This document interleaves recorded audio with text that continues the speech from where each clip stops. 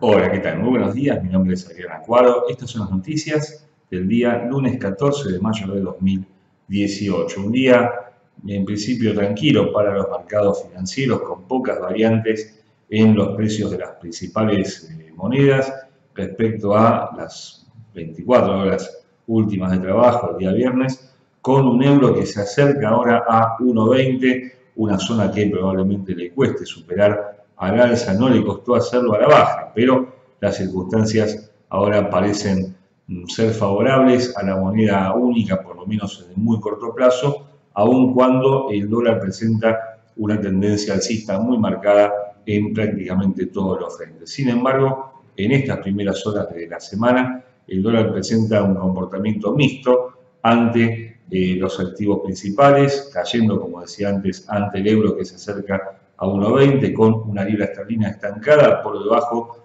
de 1,36. Una libra que otra vez se ve afectada por algunas cuestiones de Brexit, pero que no puede superar esa zona. Si la supera, pero más puntualmente 1,3640 podría así aspirar a ganar unos cuantos puntos más, siguiendo otra vez la línea del euro que claramente hoy se presenta con una tendencia alcista. El yen sin demasiados cambios por debajo del 110, pero por encima de 109 también en un rango de, precios muy estrecho y con la onza de oro ganando posiciones ahora, 1.317 dólares para el metal precioso con una tendencia alcista para las próximas horas. ¿Qué puede suceder hoy?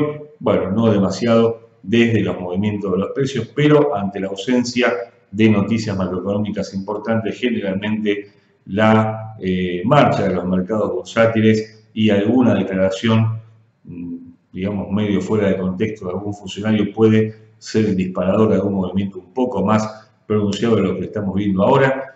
Esta es una semana, en verdad, con poca información macroeconómica. Solamente mañana tenemos el dato de ventas minoristas en Estados Unidos, que puede ser justamente el que genere los mejores movimientos de esta semana. Eh, una sesión americana entonces con atentivos muy limitados desde las noticias, pero que por supuesto siempre ofrece oportunidades de corto plazo. Esta vez, puntualmente por este lunes, pueden estar en contra del dólar. Una excelente jornada de operaciones para todos. Nos vemos mañana martes.